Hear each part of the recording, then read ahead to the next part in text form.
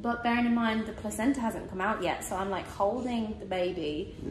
Plus, I got a towel between my legs because obviously there's blood everywhere, like a murder scene. There was marks of blood on like the wall over there, and then go and lay in the bed, and then she pulls out the placenta, which is the best feeling in the world.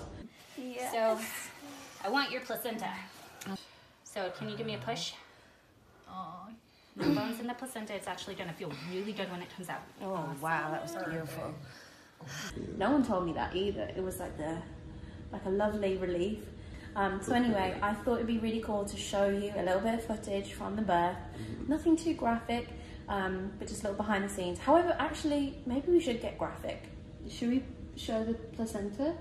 Yeah, I'm sure. Did we have like really good photos of it? Really good photos. The placenta is huge.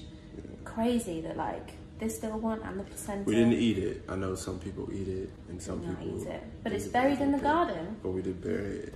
Yes, it's very nourishing. Um, Yes. So we've got two trees growing from the placenta. Yes.